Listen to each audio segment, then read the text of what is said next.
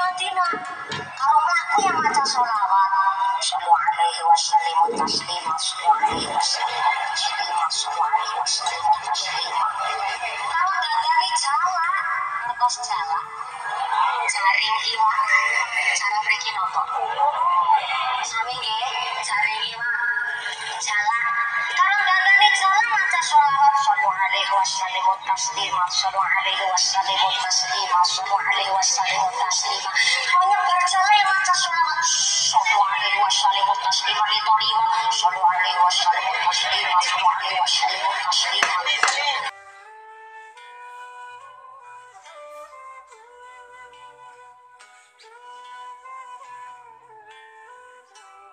kebiasaannya nelayan ini ya kebiasaannya nelayan ini karena dia itu taunya sholawat itu dulu. Nelayan ini bodoh nggak tahu apa-apa nelayan ini.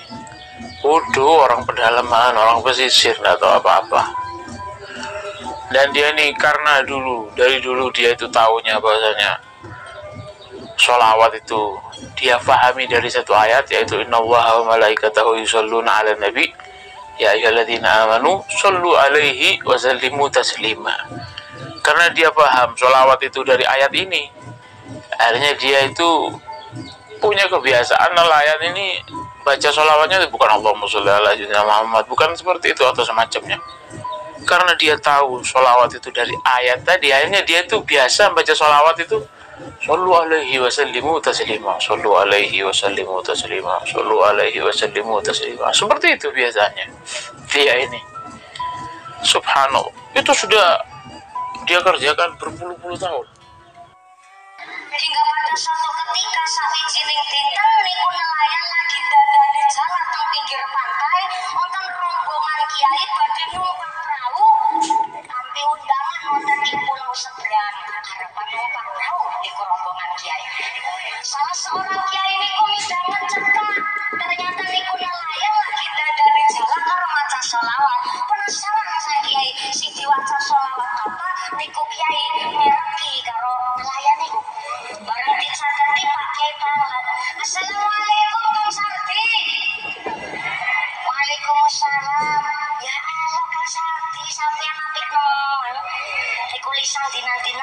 Natasha Lava.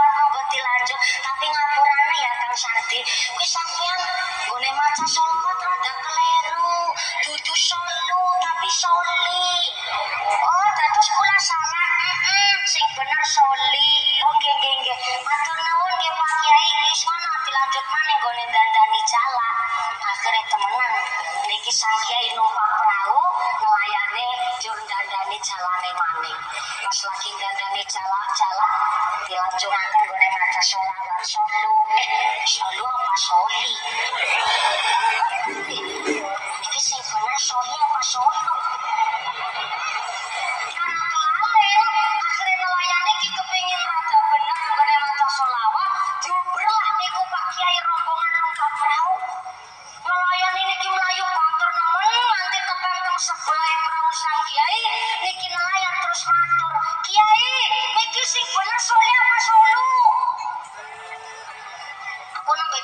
langsung kelalen Kiai. Soli apa solu sang Kiai kaget berbes milih nelangsa kenapa kok Pak Kiai ditengeti malah nangis? Karena ternyata tanpa disadari Kang Sardi niku nelayan si gemar maca sholawat gone melayu berpaune Pak Kiai jebule melayu nang dhuwur banyu.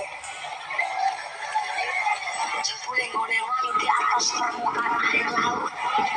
Gara-gara seneng maca sholawat nganti melayu nang dhuwur banyu nganti ora kerasa. Pak Kiai mulane nangis berbes milih jur jaluk ngapura niku Kiai. Ya Allah Kang Sardi mau jaluk ngapura. Jebule sampean makom derajat lebih dhuwur ketimbang kula.